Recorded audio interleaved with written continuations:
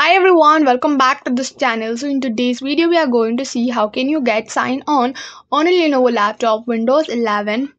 Step 1, you need to go to settings, search for settings, open the settings.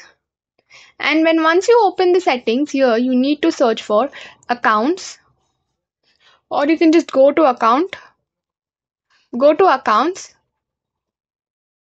And then you need to go to scroll and you can find your info. Click on your info. Then you need to go to manage my accounts.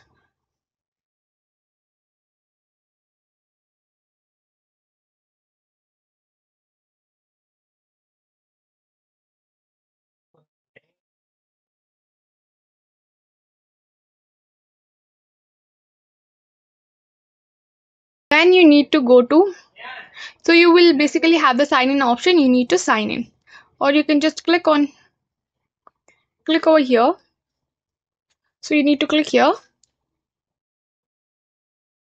and then click on my Microsoft account or sign in with a different account. So this is how you can get sign on on your Lenovo laptop Windows 11. So that's all for the video. Thank you for watching. If you think I helped you in some way, do like, share, comment and also to subscribe to this channel.